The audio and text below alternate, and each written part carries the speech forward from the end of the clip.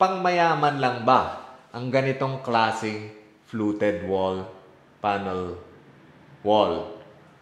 Well, today ngayong araw, alamin natin.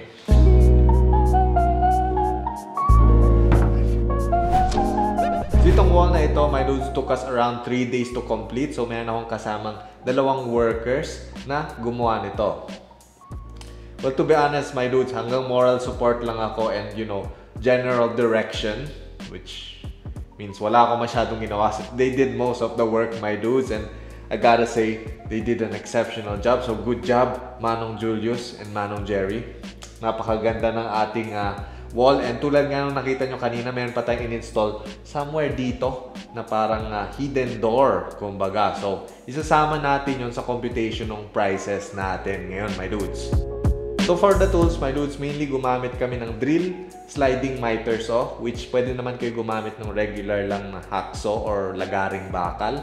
And then gumamit din kami ng circular saw, pangtabas nung plywood para sa ating hidden door. And then lastly, gumamit kami ng hand riveter. Now, para naman sa materials nito, my dudes, gumamit kami ng wood plastic composite panels which mainly we got it from Decor Wood. You could visit their Facebook page right here. So, mabilis nilang sinend ito sa akin, which by the way, they're, they're not sponsoring this video. Talagang I'm just happy with their service. Hindi ko alam kung mabait sila sa akin dahil influencerist ba ako. Or, you know, talagang ganun lang sila. But for me, they did a really great job delivering the stuff and uh, gotta say, my dudes, ang ganda ng kinalabasan nito. Lalo na yung dun sa salas namin. Ayan. So, ganyan yung kinalabasan niya, which is excelente even a word? anyway, uh, tulad nga ng sinasabi ko, WPC panels ito, my dudes, which ang kagandahan nito is hindi na siya aanayin and also easy maintenance, madali punasan at hindi rin inaamag yung ganitong klase basta-basta, my dudes. Now, pag bumili kayo ng ganito sa Decor Wood, my dudes, it comes with clips kung saan yun yung ginagamit namin pang-attach dun sa mismong pader, yung mga clips. So, dinidrill namin yon and that's where our hand riveter will come in. So, imbis na gumamit ng mga tocks and screws, ang ginawa na lang namin is gumamit kami ng mga blind rivets or expanding rivets. So, malayang mas mabilis yung ganitong method at mas mababaw pa yung kailangan namin i-drill na butas. So, that is why we use that. And aside from that, we also used Pioneer Pro's builder's band which is some sort of liquid nails thingy. So, ang katumbas niya is yung no more nails, yun yung similar.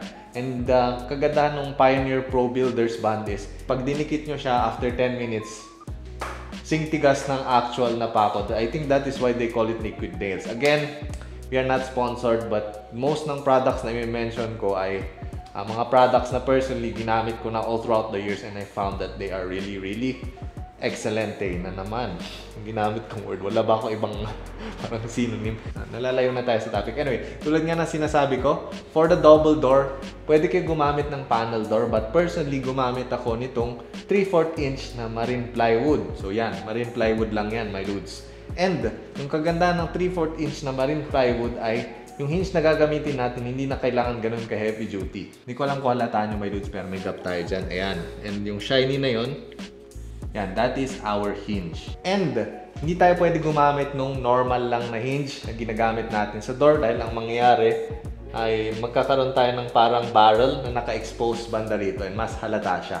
But instead, I used concealed door hinges which you can find easily sa mga orange apps natin. And with that, I believe yun na lahat ng kailangan natin para makompleto itong project na ito. But in order to obtain those materials, kailangan natin ng pera which is ang next natin pag-uusapan ay kung magkano nga ba yung mga materials na yun. So, umpisan natin dun sa ating WPC panels. So, yung WPC panels na ginamit ko dito is specifically from Decor Wood and yung prices nila may vary from other manufacturers so you could go check others out. Pero yung sa Decor Wood, ganito yung kanilang price which is 590 pesos per piece. And yung piece nito is ganito siya, my dudes. Oops. So per piece nito, my dudes, is ganito siya kalapad. Around 16.5 centimeters yung kanyang working dimensions. At 2.9 meters kahaba, which ang average ceiling height is around 2.5 to 2.8 meters. So, pasok na pasok ito, may onti pa kayong retaso. Now, when it comes to computation, my dudes, ang ginawa ko is I just took the length of this whole wall, which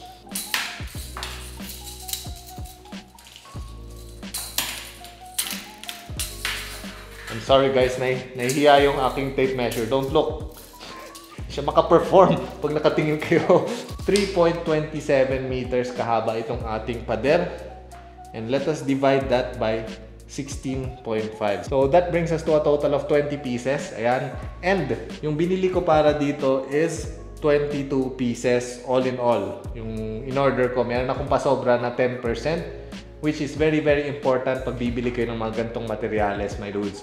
Lalo na yung mga tiles, kailangan may sobra lagi yon because upon installation, di naman natin masisiguro na perfect yung pagkaka-install. Baka may isang kamali. So, at least may kapalit na tayo at hindi na tayo kailangan umorder ulit. At ang worst case scenario is pagka-order mo out of stock na pala, so bungal yung ating pader. There's nothing wrong with bungal.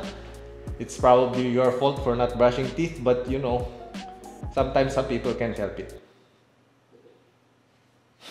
Sana ako. Yeah, tulad nga ng sinasabi ko. Yeah, so 22 pieces. Meron akong dalawang sobra doon. And that cost me around 12,980 pesos or around 13,000 pesos. Now, para naman dun sa mga clips na ginamit namin, libre na yon pag umorder kayo. And then, para naman dun sa ating pandikit na Pioneer Pro Builders Band, so around 164 pesos yun per tube dun sa mga orange app. Halos wala pang 1/4 ng tube yung nagamit namin dito. So, medyo matipid yung ganon. Now, next big item ay itong ating marine plywood which costs 1,610 para sa isang piraso na 4x8 feet. So, it is very crucial na gumamit tayo ng marine plywood dito, my dudes, because inherently ang mga marine plywood is mas resistant sila sa moisture which living in the Philippines, there is moisture everywhere. So, yeah, ang mangyayari pag hindi marine plywood ang ginamit nyo dito is may tendency mamamaga siya at maghiwa-hiwalay itong mga panels natin or worse, hindi nyo na mabuksan kasi tumatama na siya dun sa ating jam. So, yon. Now, para naman sa humahawak sa ating marine plywood, ang ating mga concealed door, concealed door hinges, those cost around 229 pesos per pair and gumamit kami ng 2 pairs so apat na pirasong kinabit namin dyan. Okay naman siya so far my dudes. Very very smooth. Now let's move on to the labor which by the way you don't have to include this kung balak nyo i-DIY ito my dudes. So dito sa labor, meron kaming dalawang tao na 700 pesos per day yung binabayad plus benefits. So madadagdagan pa yung price na yan pag kinonsider natin yung kanilang SSS, uh, pag-ibig, HDMF, and all that other benefits. But for the sake of this video, let's just use 700 pesos for 3 days. So, pag kinompute natin, that will cost us around 4,200 pesos for the labor of our two expert workers. Uh, but you know, kayang-kaya nyo i-DIY ito. I believe in you, my dudes. And that will be free. All of these prices na minention ko, my dudes, are based on the time of recording. So, pwedeng magmahal ito, pwedeng magmura. Also, I almost forgot, my dudes, meron tayong nilagay na magnetic latch dito. Kasi pag wala yan bukas na bukas itong pintuan na to. So this particular magnetic latch tin 3D print ko and then nilagyan ko siya ng neodymium magnets.